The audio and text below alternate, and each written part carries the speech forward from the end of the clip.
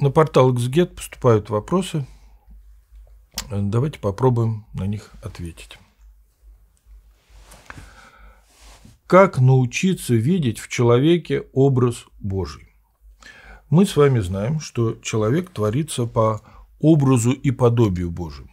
Образ – это то, что дано э, в человеке, а подобие – это то, кем человек должен стать в результате своей жизни, то есть как он должен э, обожиться. Образ Божий – это то, все то хорошее, все то стремление замечательное, расположение к благу, да, к добру и так далее.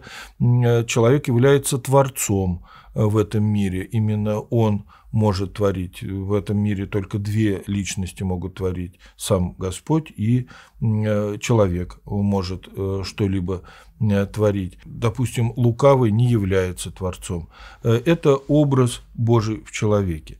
Мы знаем, что Христос приходит в этот мир, чтобы спасти человека, спасти именно образ Божий в человеке, восстановить образ Божий в человеке. Мы куплены дорогою ценой, кровью Господа нашего Иисуса Христа, говорит апостол Павел.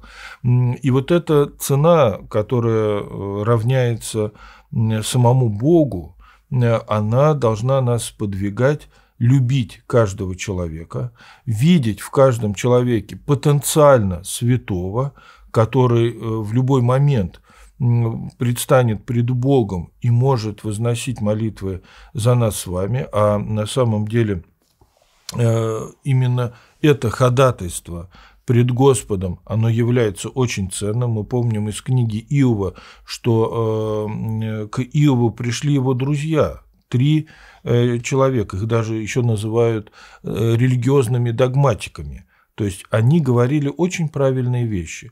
Но Господь в конце книги говорит, что «послушаю слов раба моего, друга моего Иова, а ваших слов не послушаю. Если хотите, чтобы услышал вас, то просите Иова, да молится о вас, и исполню его прошение». То есть наличие святых, наличие людей, которые бы предстали пред Богом и просили за нас с вами, важно в нашей с вами жизни. Таким святым может стать абсолютно каждый человек, с которым мы общаемся. Он может нас раздражать, он может быть неугодным человеком. Кстати, самые неудобные люди в этом мире – это старцы.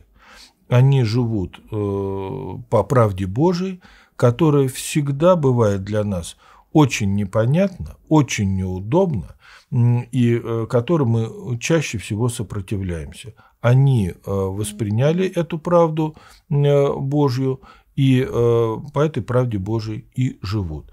Э, видя все это в человеке, подразумевая и подозревая, что он в любой момент может стать твоим защитником, может стать твоим ходатаем э, пред Господом, мы с вами и должны восстанавливать почитание ближнего как образ и подобие Божие в нем живущее.